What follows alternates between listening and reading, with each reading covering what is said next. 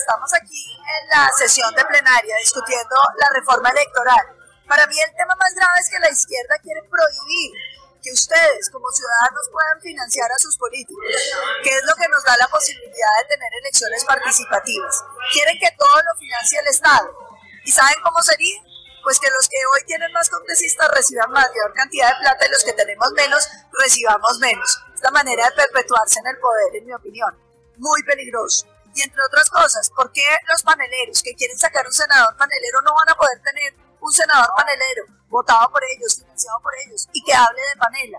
Nosotros no podemos dejar que conviertan la financiación eh, privada en una especie de, pecado frente al cual el congresista ya no puede decir nada. ¿Por qué los transportadores no pueden financiar un congresista que los represente? ¿Por qué los cafeteros no van a poder tener un congresista financiado por ellos que hable de café? Aquí estamos en esta pelea, ya les iremos contando cómo...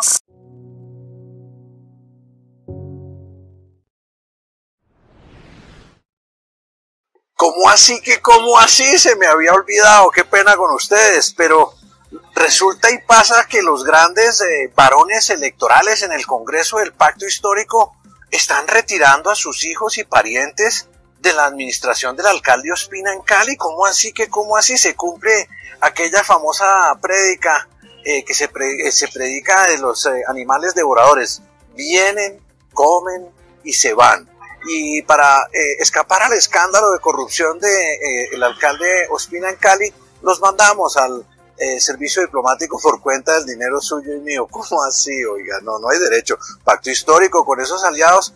¿Para dónde va la lucha contra la corrupción? Es que aquí se está hablando del tema de que, pase, que pasen del Congreso a los ministros, a ser ministros, que no pasa nada porque la gente vota por el partido en el caso de lista cerrada. Pero vuelven a olvidar que es que la lista cerrada es solo por dos periodos. Entonces, yo sí creo que es un engaño al elector que se lancen los congresistas para ir al Parlamento y terminen de ministros porque sí votan por ellos, porque solo por dos periodos la lista cerrada. Y otra cosa yo quiero agregar, creer que la representación de los partidos se da solo cuando los parlamentarios del partido van al Congreso es un al, al gobierno es un engaño. O me van a decir hoy que los partidos no tienen representación en el gobierno toda la vida la han tenido y no tienen que ser los parlamentarios los que van al gobierno para que esos partidos tengan representación. Entonces yo tengo esas dudas, porque si la lista cerrada es solo por dos periodos, yo sí creo que se engaña al elector cuando uno se lanza para ser congresista, pero con aspiración de ser ministro. Muchas gracias, presidente. Los que no han estado en listas cerradas estarán pensando que entonces uno se queda en la casa viendo televisión. No, cuando usted está en una lista cerrada también tiene que hacer campaña. Y entonces, ¿con qué va a pagar la reunión? ¿Cómo va a viajar a los diferentes sitios del país si lo que están diciendo es que el partido controla absolutamente todo?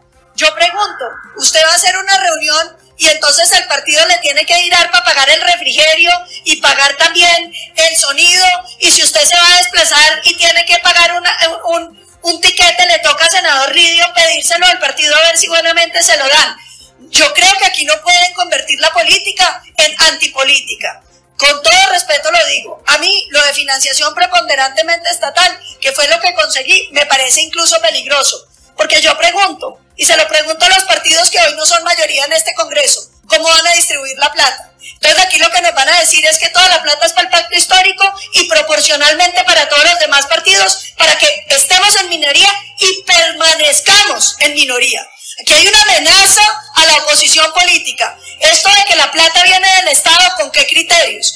No, no, senador Roy, porque yo creo que el tema de la financiación no se debiera tocar. Ustedes arrancaron en prohibir la financiación privada yo acepto preponderantemente estatal, pero ahora nos salen con que además el, partido va a dominar hasta el último centavo. Un, senador entonces depende de que el partido le gire hasta para comprar un refrigerio de una reunión.